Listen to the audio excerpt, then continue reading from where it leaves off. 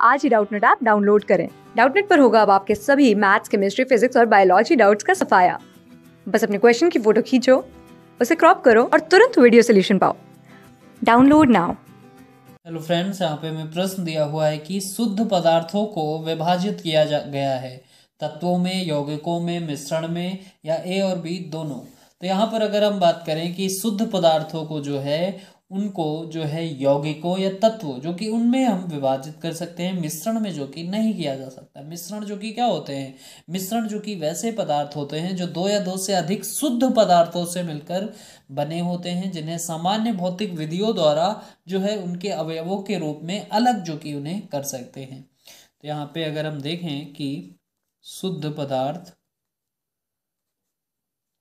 शुद्ध पदार्थ जो है ये जो कि वे पदार्थ होते हैं जिनके सभी कणों का जो रासायनिक गुण है वो जो कि समान होंगे।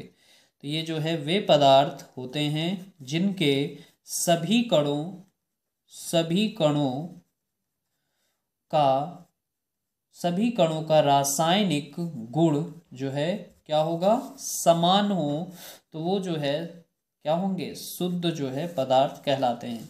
जैसे कि बात करें मिश्रण और तत्व और यौगिक की, क्योंकि मिश्रण जो कि ये शुद्ध पदार्थ नहीं हो सकते, क्योंकि इसमें मिश्रित किया गया है बहुत चीज़ों को तो इसमें जो कि अशुद्धि भी हो सकती है, कुछ भी हो सकता है तो ये जो कि शुद्ध जो है नहीं हो सकते तो अगर हम देखें कि तत्व जो है, अगर कुछ होंगे भी तो उसको जो कि हम कह नहीं सकते, क्योंकि मिश्रण है, उसमें और भी चीज़ें मिली होंगी तो इस वजह से अगर बात करें तत्वों की, जैसे कि तत्व जो कि सोना, चांदी जो है, इसके अलावा जो कि बात करें, सोडियम, पोटेशियम, कॉपर, हीलियम, ये सभी क्या है? तत्व हैं। और ये जो कि क्या होंगे?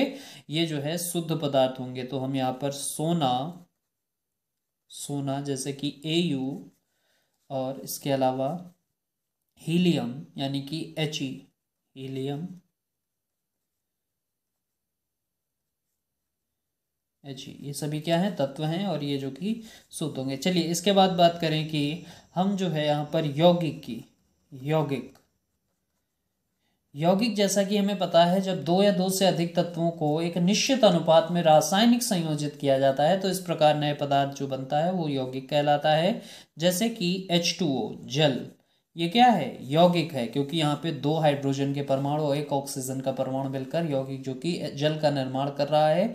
और यहाँ पर ये दोनों ही तत्व और यौगिक दोनों ही क्या होंगे? ये जो है शुद्ध पदार्थ होंगे। तो यहाँ से इसका जो सही उत्तर होगा वो हो जाएगा चौथा विकल्प। तो यहाँ से आंसर हो जाएगा चौथा विकल्प, यानी कि तत्व यौगिक दोनों ही शुद्ध पदार्थ होंगे। थैंक यू क्लास सिक्स से ट्वेल्थ से लेके NEET I I T JEE mains और एडवांस के लेवल तक।